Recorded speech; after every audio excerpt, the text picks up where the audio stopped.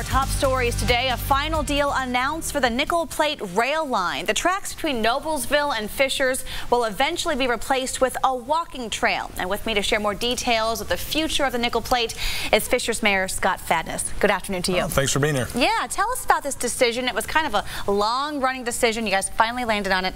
And how come and why?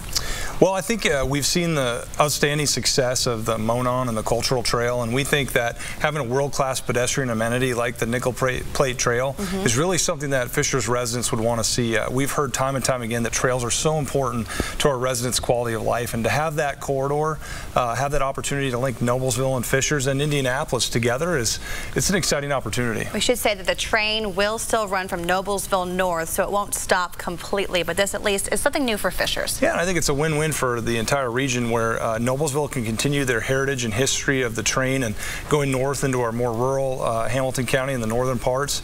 But in the more urban areas where we want to see that pedestrian connectivity, it will allow for Fishers, Noblesville, and Indianapolis to really connect.